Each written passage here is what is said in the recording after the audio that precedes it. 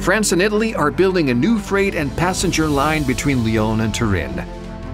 The international section, which will connect Susa and Saint-Jean-de-Maurienne through the base tunnel, represents its key element. This 65-kilometer long railway line crosses Mont Cenis and includes cutting-edge technological equipment to ensure maximum safety and interoperability. Two independent tunnels connected by 180 bypasses.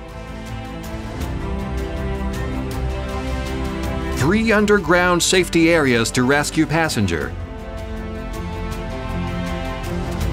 A firefighting and ventilation system along the entire tunnel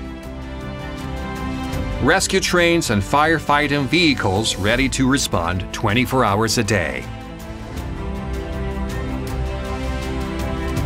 140 kilometers of tracks and catenaries to allow up to 10 trains to run simultaneously, powered by three electrical substations.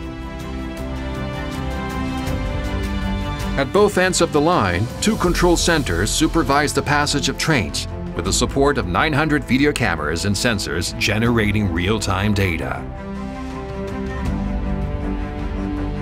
The ventilation system uses the 500-meter deep Avrieux shafts of the dual-flow ventilation plant and the four access adits built along the 57.5-kilometer long tunnel. These adits will also provide access to the deepest areas of the infrastructure where ordinary and extraordinary maintenance start. Thanks to the multifunctional portals, a single tube can be closed if necessary.